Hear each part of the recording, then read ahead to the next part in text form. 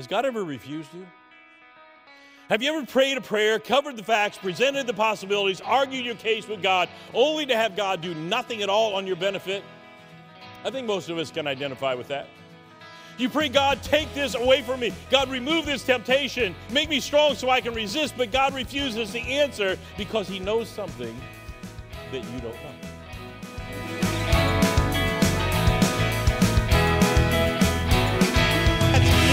Cannot add to it and you can't take away from it. We are forgiven for our, of our sins, accepted into God's family, and we're going to spend eternity in heaven because of what Jesus did, and that's all there is.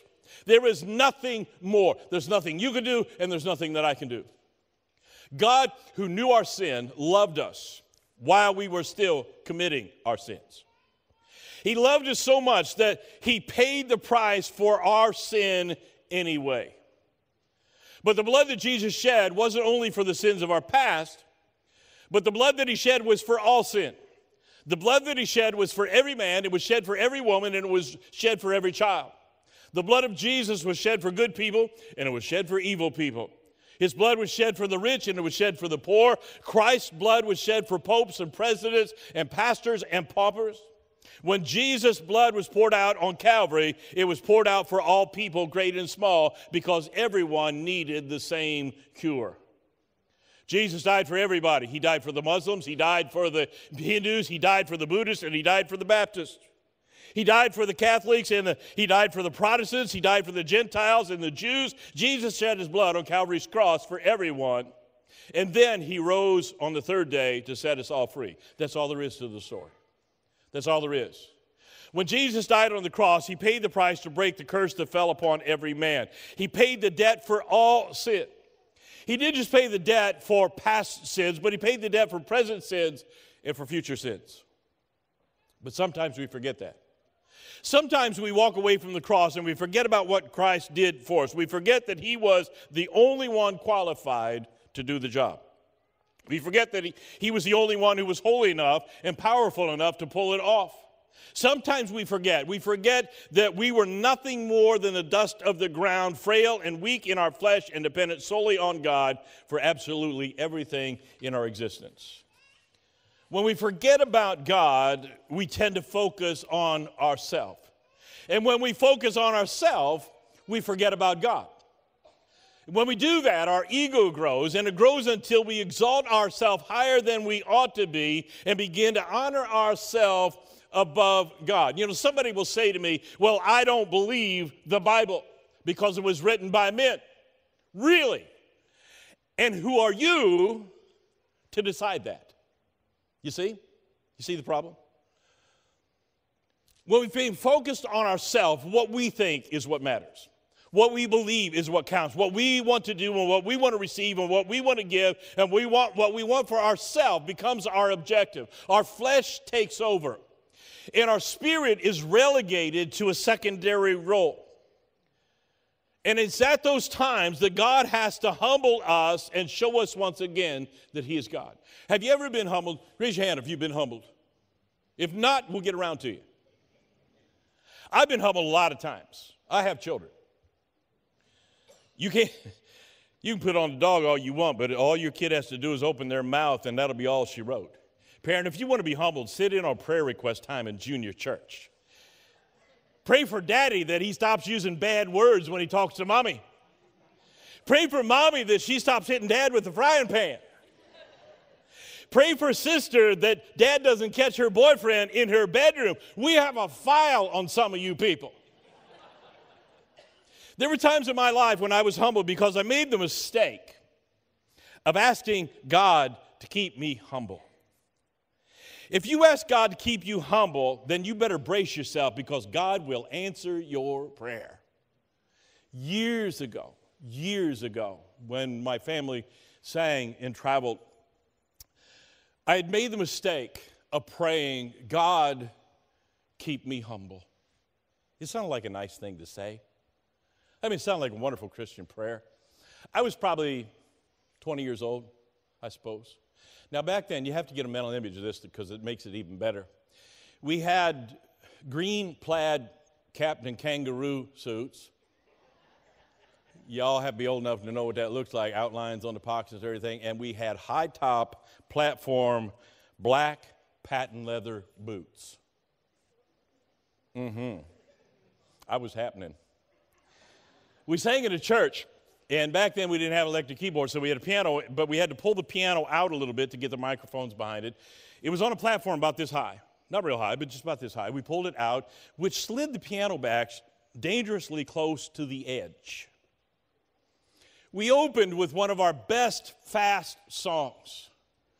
I mean, we had it going on. When we got to that great big ending, I hit the big notes on the keyboard. I leaned back and I went right on Patent leather booties up in the air. Thank the Lord we was in a Pentecostal church and the guy in the front row goes, He's got it, hit him again. don't ever pray that God keeps you humble if you don't want God to humble you. Sometimes we ask for humility and sometimes we don't, but God, who wants to make certain that He always receives the glory, will allow those that He loves to not get too big for their britches.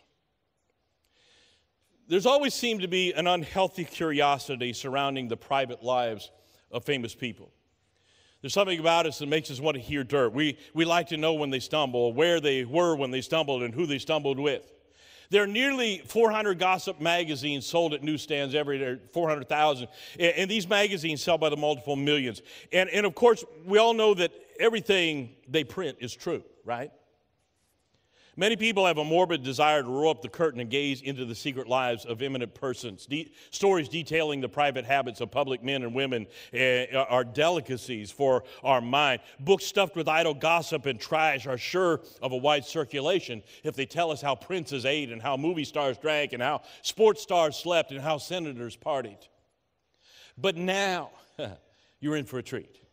Because on Sunday morning, during the pastor's sermon, we're going to be able to satisfy our urge for gossip and minister to the edification at the same time.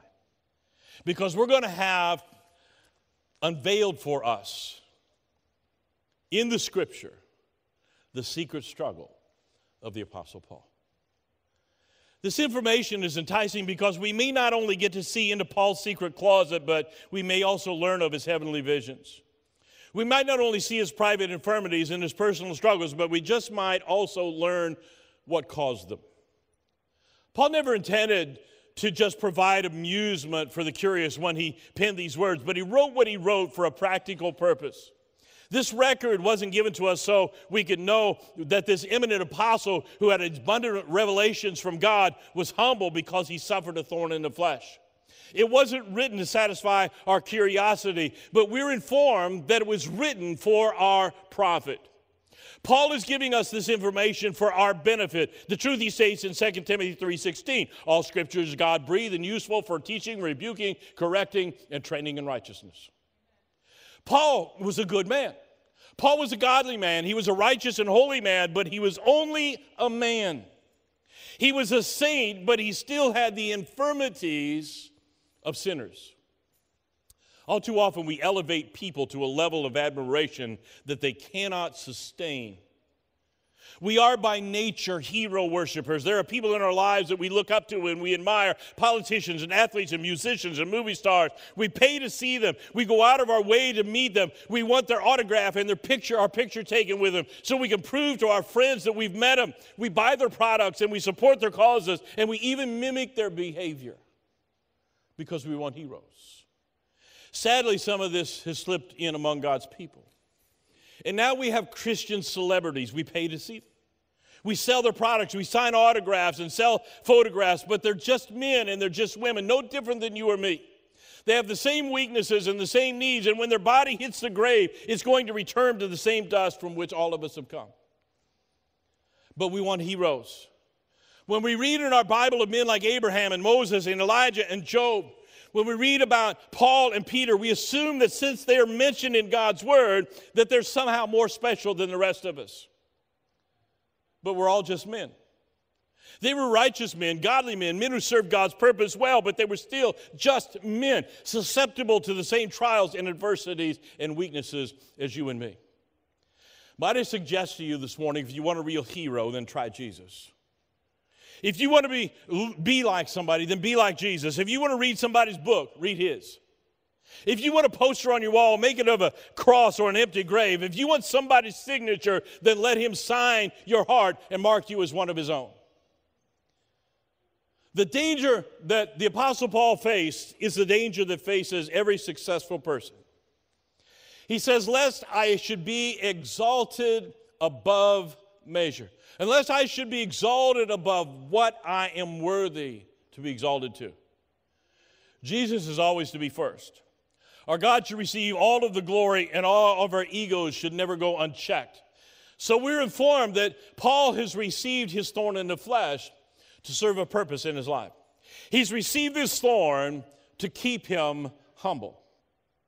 But I want you to think about this. Certainly, one of the devil's goals wouldn't be Paul's humility. If anything, the devil would want Paul so full of himself that God couldn't use him. But Satan hated Paul's righteousness and Paul's work in God's kingdom so much that he would do anything for an opportunity to attack him. So God used Satan's own bloodlust against him.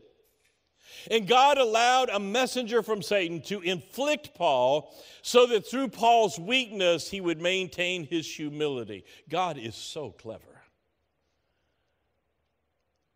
The preventative, Paul says, there was given to me a thorn in the flesh. Paul considered his great trial to be a gift from God. He didn't say there was inflicted upon me a thorn in the flesh, but he said there was given to me this thorn.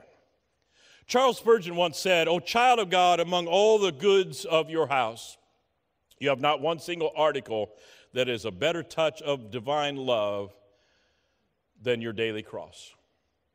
You'd love to be rid of it. Sometimes it seems too much to bear, but you would lose your greatest treasure if it were withdrawn. Have you ever considered the trial that you're facing to be a blessing? Have you ever thought of your battle as a gift from God? We often gripe and complain when things go wrong, when we have to fight to survive and struggle to move forward, but often at those times we don't see the bigger story.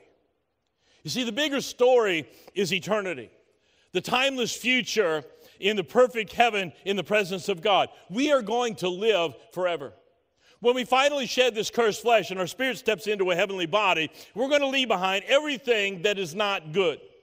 We're going to leave behind our trials. We're going to leave behind our debts. We're going to leave behind our sicknesses and death. We'll leave behind our weaknesses, and we'll leave behind the enemy who has tormented us for our lifetime. We forget that God has created us to live forever, and we sometimes get distracted by a small story.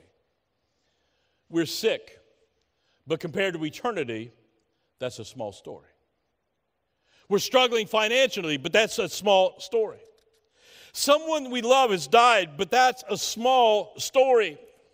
We're trying to remove the thorn from someone's eye, but it's a small story. We're worried about the economy and terrorism and the mayhem in our day, but those two are small stories in the grand scheme of eternity. God has already written the complete story. Somebody hearing me? God has already written the complete story. God has already written everything, and He's put that story in our hands. God has already told us everything from the beginning to the end and beyond, but because we don't read it and we don't believe it, we get distracted by these small stories. We're depressed and we're afraid and we're defeated and insecure because we refuse to see the big picture. But God sees the complete story, and He gives to us what we need, both pleasant and unpleasant things, so we will finish our course and finish it well. So Paul says, There was given to me a thorn. If the English word used by Paul expresses the exact meaning, and I think that it does, we need to understand the simile here. A thorn is just a little thing. That's all it has to be. A thorn is painful, painful, but it's not lethal. You might think you're going to die, but you're not going to. A thorn isn't a huge, overwhelming affliction, but it's a common and simple matter, but it is still painful. Have you ever been poked with a thorn? A thorn is a sharp thing that pricks and pierces and irritates and lacerates and festers and causes pain, and yet it is almost a secret thing that's not apparent to anyone but the sufferer. You walk through the house in your bare feet and you step on a needle. Nobody can see it, But they can see you hopping around on one leg doing a war dance and yowling at the top of your lungs. Paul had a secret grief somewhere in his life. Now, I don't know where it was, but I do know that it was near his heart. And it was continually irritating him, vexing him, and wounding him. It was painful and it was inconvenient, even though nobody else could see it. That's why we make this mistake of thinking that Paul was perfect and had this perfect life, because we don't see this indivisible suffering. The pains that we despise are seldom fatal, but they're, they're frequently the source of the most intense anguish in our life a toothache, a headache, an earache, an ingrown toenail. Who knows what I'm talking about? A little hole in your tooth can take you out of the game.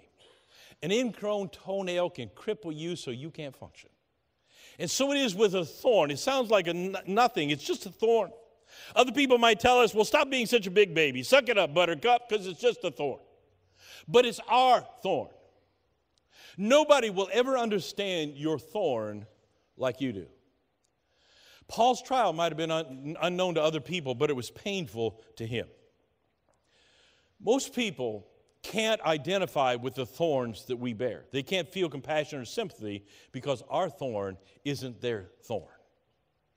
The thing that we deal with day in and day out isn't what they deal with. The pain that we feel, they can't feel. And typically, they don't understand our pain. That's why God tells us to be careful when we judge other people. That's why we're to be careful when we're trying to remove this thorn from somebody else's eye when there's this great big wooden beam in our own. We all have secret trials and uh, that other people are unaware of. So we can't pretend that we are so together and we are so holy that we can judge somebody else's thorn. You understand me? Paul says that it was a thorn in the flesh. Notice the words. Notice where Paul says the thorn is. Paul wasn't tempted in his spirit, but his trial was in the flesh. The evil that he faced, though rejected by his spirit, had an intimate connection with his body. Now, a lot of people have guessed as to what Paul's thorn in the flesh was. Rosenmuller thought that, his, that it was gout. Others thought that it was his eyesight. Some have believed it to be stammering or a hypochondriac tendency. I read where another scholar who suffered from a sexually transmitted disease believed that the Apostle Paul was suffering from the same thing. As I did my research, I generally found a common theme. Every person who had an opinion on what Paul's thorn was identified it with the very thorn they suffered with themselves. Was Paul's thorn a temptation or was it a sin that he struggled with? I don't know, but I wouldn't rule it out even for the Apostle Paul. Paul described his thorn as a messenger of Satan. Not as Satan himself. All too often we think that the devil gets credit or gets the blame for a whole lot of things that he hasn't done. Saw a cartoon one time of the devil sitting on the steps outside of a church on Sunday morning, and he was crying. Somebody came up to him and asked, Why are you crying? And the devil said, Because the people in there are blaming me for everything. Paul's thorn, the Bible says, was a messenger of Satan. He was one of the devil's errand boys that was sent to buffet him. The word buffet means to cuff him. Now, you young people have no idea of what being cuffed means. To you, being cuffed means a policeman has arrested you and he's placed your hands behind your back and he's putting you in handcuffs. But to those of us who are a little bit older, we know what it means to be cuffed. Who knows what it means to be cuffed? Jeff, raise your hand because I know you got it several times. Being cuffed is when you've been acting up and mom or dad slips up behind you without you knowing it. And they give you a swat upside of the ear with the flat of their hand. It stings like nobody's business. There's a ringing in your ear that you swear will never go away. And you briefly go deaf for a moment on that side. And then the side of your face turns red for a really long time. You go back outside to your friends and you try to act like nothing's happened. But it's written all over your face. And your friends start laughing at you. Say, man, you've been cuffed. It's a humiliating experience. It doesn't kill you. It's not a beating. It's not child abuse. It's not lethal or fatal, but it is painful and it's very humiliating. Paul feels the degradation of being buffeted. He would much rather have done battle with the devil himself. He would rather have put on the helmet of salvation and the breastplate of righteousness and wielded the sword of the Spirit and protected himself with the shield of faith and charged the gates of hell. But instead, he was being cuffed as though he was a mischievous little boy, and it humbled him. This experience was beneath him. He was the great apostle Paul, the author of much of the New Testament and the seer of heavenly vision, and yet his fight was over a pestering, petty problem with one of Satan's flunkies. The immediate effect was to drive Paul to his knees.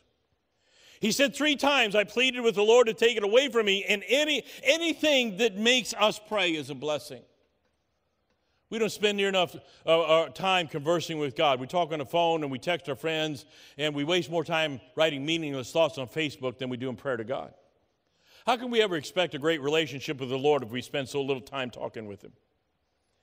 Troubles have a tendency to bring us to our knees. When all is well, the sun's shining, the birds are singing, life is problem free, we don't feel the need of talking to God. But we're, when we're sitting in a hospital room or pacing up and down the floor in the middle of the night because we don't know where our teenager is, or we're about to lose our home because we have just lost our job, prayer comes easy to us.